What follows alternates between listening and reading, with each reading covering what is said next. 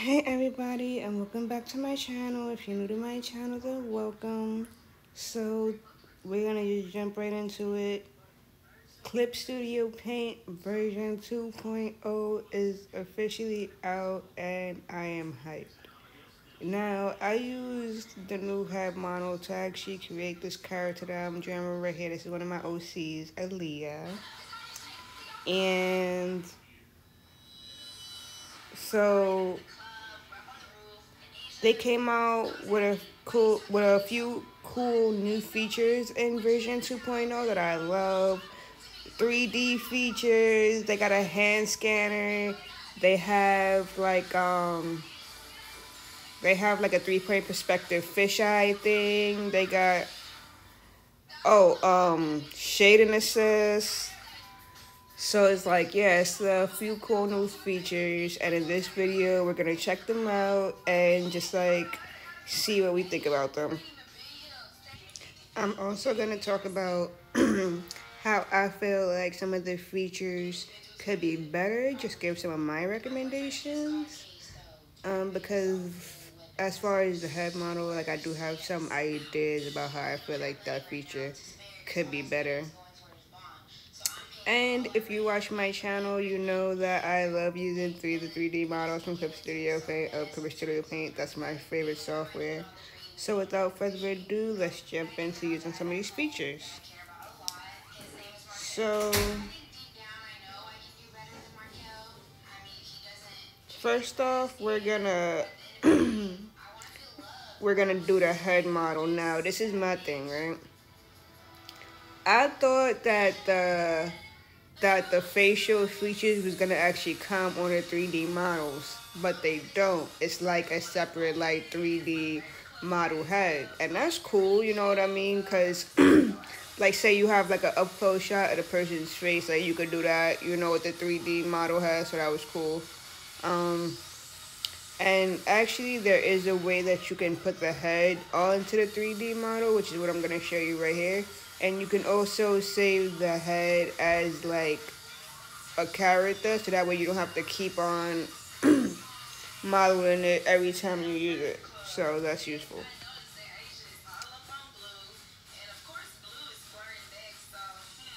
So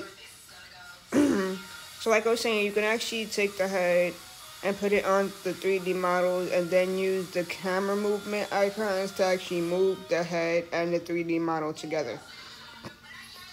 So,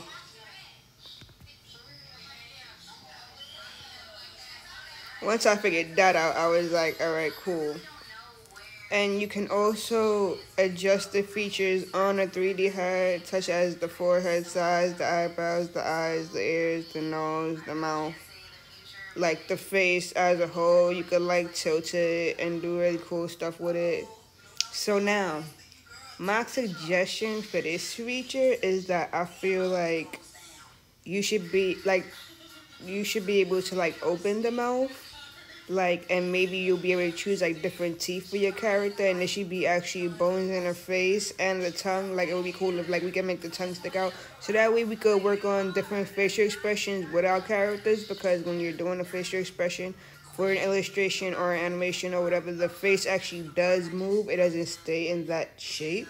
So I feel like that would be a very useful feature to add to the 3D head model.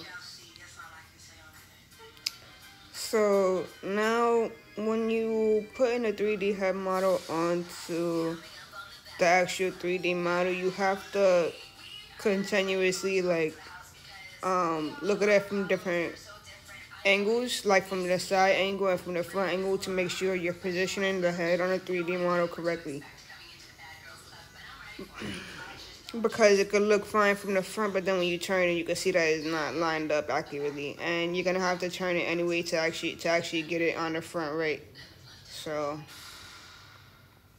see, like you could put it on there, and you're probably not gonna see the face all the way, and that's because you have to actually turn the model to the side and stretch the face forward.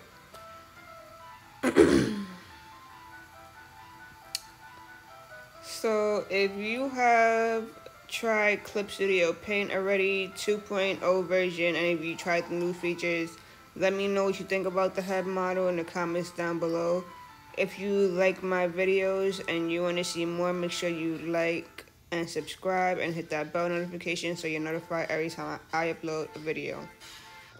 Okay, so in this part of the video, we're actually gonna explore like um, adjusting a head from scratch on my second 3D model here. Another one of my main characters, Aurora, who is Aaliyah's sister.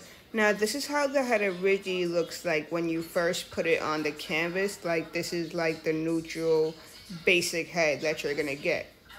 Now, you're gonna click on the ranch looking icon and it's gonna give you different heads that you can actually choose from if you wanna go down that route or you can go to facial features and just adjust the head on your own. Me, I went to the face mixer to like um choose a head and then adjust it from there. So I chose the head as you can see in the top left corner. I actually like the middle head as well and if you want you can mix and match different features to create a very unique looking face which I think is really dope and really awesome. And I'm definitely going to take advantage of this feature. Like, I'm going to play with it a lot. Like, I can just see myself definitely using it in the future and, like, playing with it and coming up with these really cool, like, different faces. You see how you can give it cheekbones by doing a skeletal face? So dope. Like, you can even um, give it male features because you have the male face that you can choose from at the bottom. So that's cool. So, sorry, guys. Let those little dry. Hold on, let me get up in the drink right quick so I can finish. Okay, sorry guys. Alright, so um yeah, so like I was saying, I definitely think there's room for improvement when it comes to like the 3D head. As far as like us being able to open a mouth and choose teeth and just be able to do more with this so that we could really get the results that we want when it comes to like the illustration and stuff like that would be fire. That's like oh and um also just like another thing that they could probably improve is like it would be dope if they would actually put the face on even though I just show you that we could connect the face, but it would be dope if they still like put the face on the actual 3D model so we don't gotta go through that extra step, you know what I mean? And so we can have the head separate, but we can also have the face on the 3D model, you know what I mean? So that would just be fire. Just throwing it out there. I'm excited to use this feature. So let me know in the comments down below what features you're excited to use and like if you're excited about the new 3D features, because I definitely am. Like I love using a 3D model, so when I heard that they was doing like 3D features, I was like, oh my god, let me see what they got, let me see what they got. I was just like so excited for it. so yeah, I'm just pretty much playing with the features here, the nose, like you can you see how you can like change the position of the nose and everything. And like you can actually make it look less pointy. Like you can make the nose look like it's broke. Like you can see you can make it wider with like the width. That's cool. Change the bridge to the nose. Look, look, look. Oh my god, that's so fire. Like you can actually make the nose look like broke like a hook nose i'm definitely gonna use that feature on like some of my male characters that i want to look like you know like a little bit more badass like they be fighting shit. And he got his nose broke. Like yo this is so good for that. And you can change the mouth. Look at them little ass lips that i put. Mm. But yeah you could change the mouth. You could put it like full lips really thin lips, pursed lips. Yeah, so a lot of cool features. And then you can actually, a wide mouth, which is like weird. Like that character in that animation. I forgot the name of it. About the monster and the hormones. Y'all know what I'm talking about. How they mouth be mad wide and shit. Like, yeah, if you, if you like doing characters like that, then yeah, you know. You're gonna exaggerate the features, which is cool. But yeah, you guys. So that's how it looks to just like create that whole head model from scratch and that's just the process that I went through as as far as that. Everything else that you see me doing is pretty much repetitive what I already did on my other character. I just wanted to show y'all how it looked from scratch as opposed to already having the model already done like I had with the other one. So yes. And let's move on to our next feature. So another really cool feature that we're going to talk about is the hand scanner. So pretty much like you just um you click on that 3D hand model and then you click on the ranch icon and then you go down to pose and then you click on the camera icon and it should allow the camera of your tablet or whatever device you're using to scan your hands to actually do different things with the 3D hand model. Now, you, as you can see, it does what my hand is doing, but it's kind of like not, you see how like the finger is kind of messed up there? Like it's not fully doing it. So there's definitely some bugs that I feel like needs to be fixed when it comes to the hand scanner. But besides that, I think like it like once they perfect it, that's gonna be a really awesome feature to use. I would definitely be using in the in the future.